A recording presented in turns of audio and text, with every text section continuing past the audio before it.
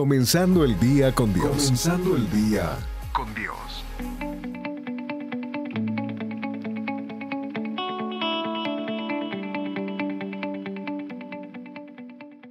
Hola, Dios le bendiga a todo en el nombre de Jesús. Te doy la bienvenida a este tu programa Comenzando tu día con Dios. Estamos llenos de bendiciones, ya que en estos días hemos estado recibiendo dirección del Espíritu Santo para emprender un sinnúmero de series de enseñanza que van a edificar, fortalecer tu vida en el área espiritual. Y sé que Dios usará estas enseñanzas para ayudarte a acelerar ese, ese propósito por el cual existe tú y tu familia. Amén, nos sentimos contentos. Tenemos, como mencioné, algunas series que van a ser de mucha bendición. Tenemos una serie que se llama Acción del Hombre, Reacción de Dios. Tenemos otra serie que se llama El pecado de la crítica y su consecuencia. Muchas de estas series serán predicadas desde la iglesia, pero la que hoy vamos a emprender y a comenzar se llama la bienaventuranza, el mensaje de la bienaventuranza, lo que Cristo enseñó en aquel lugar de cuáles son las cualidades que debemos de tener para poder heredar el reino de los cielos. Y quiero comenzar con esa serie hoy para que Dios bendiga tu vida de forma extraordinaria. Vamos a leer en el libro de Mateo capítulo 5. Dice la palabra de Dios de esta forma. Viendo la multitud, subió al monte y sentándose vinieron a él sus discípulos. Y abriendo su boca, les enseñaba diciendo, Bienaventurados los pobres en espíritu, porque de ellos es el reino de los cielos. Bienaventurados los que lloran, porque ellos serán consolados. Bienaventurados los mansos, porque porque ellos recibirán la tierra por heredad. Bienaventurados los que tienen hambre y sed de justicia, porque ellos serán saciados. Bienaventurados los misericordiosos, porque ellos alcanzarán misericordia. Bienaventurados los limpios de corazón, porque ellos verán a Dios. Y bienaventurados los pacificadores, porque ellos serán llamados hijos de Dios. Bienaventurados los que padecen persecución por causa de la justicia, porque de ellos es el reino de los cielos. Y bienaventurado soy cuando por mi causa os vituperen y os persigan y digan toda clase de mal contra vosotros, mintiendo. Gozao y alegrado porque vuestro galardón es grande en el reino de los cielos. Cuando leemos esta bienaventuranza, como le llaman, el sermón, eh, el sermón del monte, las bienaventuranzas, Cristo literalmente nos está trayendo una luz y una revelación de las cualidades que debemos de tener para poder heredar el reino de los cielos. Y nos está diciendo varias bienaventuranzas importantes que necesitamos tener. Primero nos habla y nos dice, bienaventurados los pobres de espíritu. Bienaventurados los pobres de espíritu, porque de ellos es el reino de los cielos. Bienaventurados los que lloran. Ocho cosas Jesús menciona, ocho bienaventuranzas. Ocho. Bienaventurados los pobres, bienaventurados los que lloran, los mansos, los que tienen hambre y sed, eh, lo misericordioso, lo limpio de corazón. Y comienza a darnos los puntos importante que debemos de tener como cristianos para poder entrar y heredar el reino de los cielos. Y hoy yo quiero compartir uno de esos puntos que me va a llevar dos partes a hablar solo de este punto.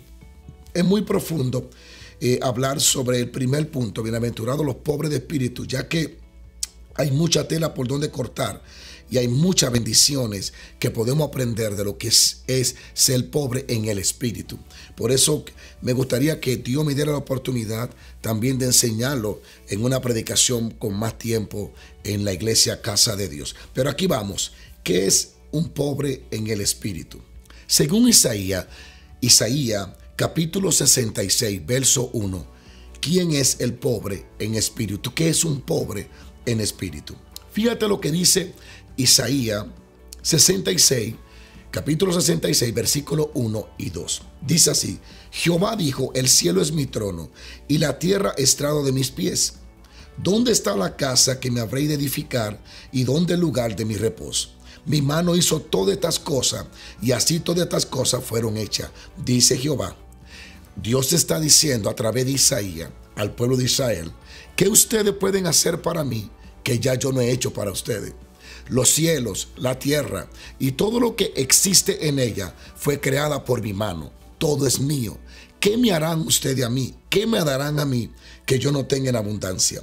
Sin embargo, el verso sigue diciendo y dice, pero miraré a aquel que es pobre y humilde de espíritu y que tiembla ante mis palabras. Fíjate lo que dice Dios, todo yo lo hice, todo es mío, pero pondré atención al que es pobre de espíritu y humilde y que tiembla ante mi palabra. O sea, que cuando Dios habla, hace reverencia, la cree y la ejecuta y camina en ella. ¿Qué es un pobre? Es alguien que carece de recursos propios, que por sí solo no puede tener, que necesita la ayuda de otro, que depende de que alguien, de lo que alguien tiene y que le puede impartir. Diferentes pobres. Hay personas que son pobres de dinero, pobre de fama. Hay gente que son pobres de salud, están enfermos. Otros son pobres de amor, no tienen amor. Pero lo que Isaías dice es pobre de espíritu. Y lo que Jesús enseña es ser pobre de espíritu. Entonces, cuando eres pobre de espíritu, no me refiero a ser pobre en lo físico, a ser pobre en lo material. Allí no está diciendo Jesús, bienaventurados los pobres. No, los pobres de espíritu. Bienaventurados los pobres de espíritu. Aquellos que carecen de recursos espirituales y que reconocen que dependen de mí para todo. Bienaventurados los que dependen de mí, los que entienden que necesitan ser amamantados y sostenidos por mi gracia, por mi bondad y por mi poder.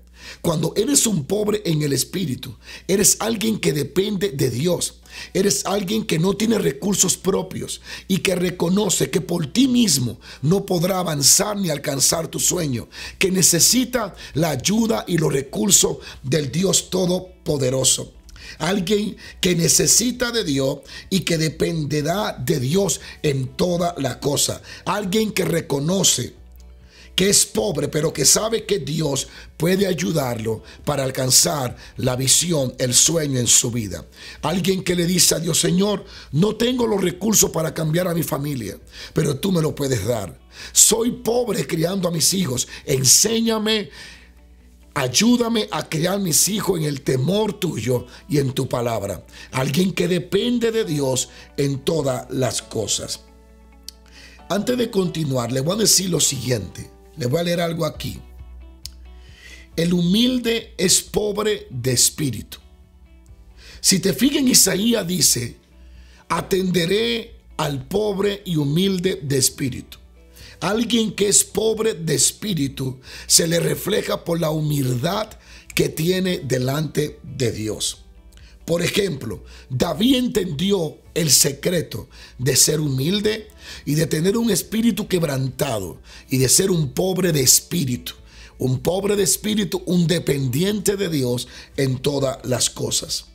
Señor, voy a predicar, pero no sé qué hablar. Estudio la Biblia, ahora revélamela. Dependo de ti. Muchas veces, eso es, eso es ser pobre, depender de Dios. Muchas veces nosotros vamos a perder cosas para poder aprender a ser pobre de espíritu.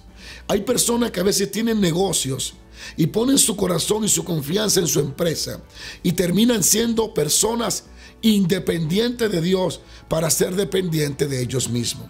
Esas personas literalmente no van a heredar el reino de los cielos.